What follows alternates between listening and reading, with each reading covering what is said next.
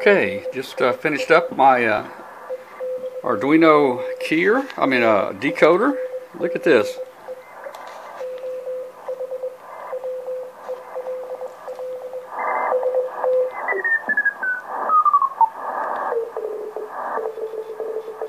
Man, it's following the signals really nicely. Let me tune to another one. So I can find somebody else here.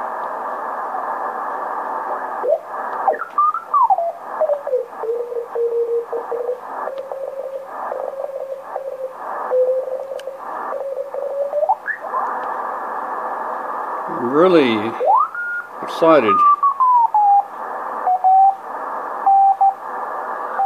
So you can see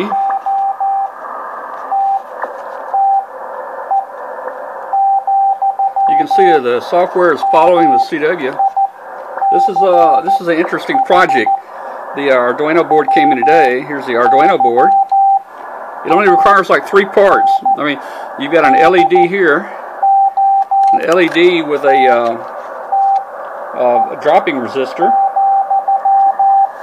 And then over here on this side, the input, very simple. Man, it's only three parts. There's uh, there's two resistors. Uh, one, two. I'm not pointing to them very good. Let's see if I can get a better shot of this. Yeah, two resistors total. Here and here and then through a, a, little capacitor. And then from there I just go through a cable. Go through a cable and I plug it into uh, my speaker. And uh, it's working looks like it's working beautifully. Now I don't have the display. My display did not come in today to read it but I can tell my software is working because the LEDs are following the signal. Oh, it's got an LED on board too.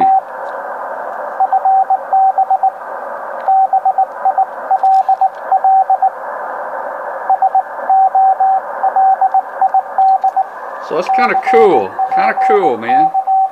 So that's my next project is to uh, is to uh, uh, get this uh, where I can start decoding, and uh, I'll show you. I've, got uh, I built the um, I built the uh, CW keyer a couple days ago. Keyer ready. It, it didn't require too many parts, just a few.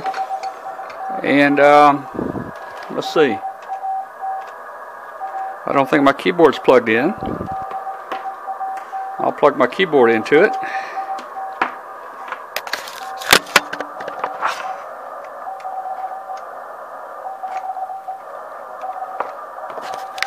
Okay, so my keyboard is now plugged into it. You might can hear it.